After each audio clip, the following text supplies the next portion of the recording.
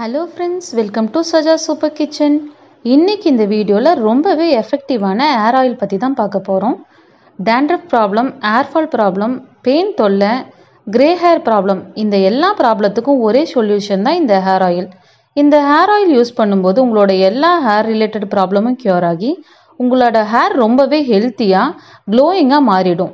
இப்போ இந்த hair oil எப்படி ரெடி பண்ணுறதுன்னு பார்த்துடலாம் மிளகு ஆஃப் டேபிள் ஸ்பூன் கருஞ்சீரகம் ரெண்டு டேபிள் ஸ்பூன் வெந்தயம் ஒரு டேபிள் ஸ்பூன் பெரிய நெல்லிக்காய் ரெண்டு வேப்பிலை ஒரு நாலு கொத்து எடுத்துக்கிறேன் கிராம்பு இருபது கருவேப்பிலை ஒரு கைப்பிடி அளவுக்கு செம்பருத்தி பூ இருபது வெற்றிலை அஞ்சு செம்பருத்தி இலை அஞ்சு கொய்யா இலை அஞ்சு மருதாணி இலை வந்து ஒரு கப் கருந்துளசி வந்து ஒரு கைப்பிடி அளவுக்கு தேங்காய் எண்ணெய் ஒரு லிட்டர்.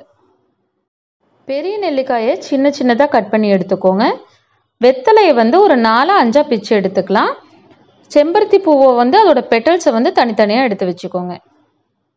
ஸ்டவ் ஆன் பண்ணி ஃப்ரை பேனில் one litre coconut oil add பண்ணிக்கோங்க. லைட்டாக ஹீட் ஆனதும் நம்ம நெல்லிக்காயை வந்து அதில் சேர்த்துடலாம். எண்ணெய் வந்து ரொம்ப கொதிக்க வேண்டாம். கொதிச்சதுன்னா எல்லா திங்ஸும் வந்து அப்படியே நல்லா கரிஞ்சு போயிடும். அதனால் வார்ம் ஹீட்டாக இருக்கும் போதே நம்ம எடுத்து வச்சுருக்க திங்ஸ் எல்லாம் ஒன் பை ஒன்னாக ஆட் பண்ணிக்கலாம்.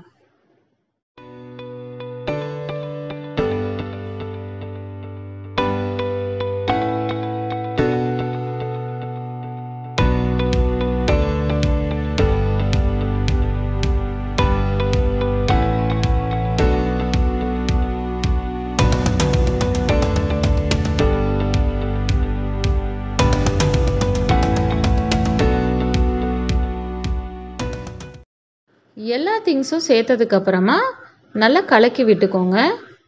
திங்ஸோட எல்லா கலர்ஸும் வந்து ஆயிலில் நல்லா மெர்ஜ் ஆகி ஆயிலோட கலர் வந்து அப்படியே சேஞ்ச் ஆகும். நம்ம போட்ட திங்ஸ் எல்லாம் வந்து நல்லா கோல்டன் ப்ரௌன் ஆகிற வரைக்கும் நல்லா ஃப்ரை பண்ணி விடுங்க.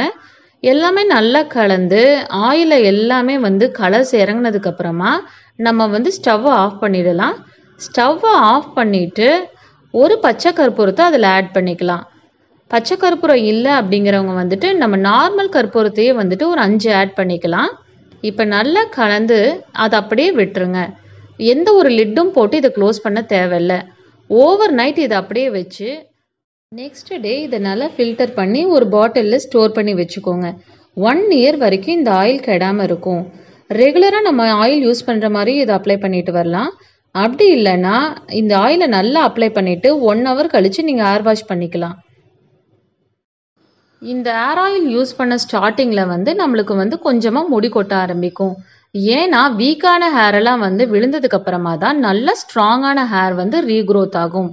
இந்த ஹேர் ஆயிலை வந்து நீங்களும் உங்கள் வீட்டில் கண்டிப்பாக ட்ரை பண்ணி பாருங்கள் இதோட ரிசல்ட் நல்லா இருந்துச்சுன்னா இந்த வீடியோவை லைக் பண்ணுங்கள் ஷேர் பண்ணுங்கள் இந்த ஆயிலை யூஸ் பண்ணிவிட்டு எப்படி இருந்துச்சுன்னு சொல்லிட்டு கமெண்ட் பண்ணுங்கள் இது வரைக்கும் நம்ம சேனலை சப்ஸ்கிரைப் பண்ணாதவங்க கண்டிப்பாக சப்ஸ்கிரைப் பண்ணிக்கோங்க.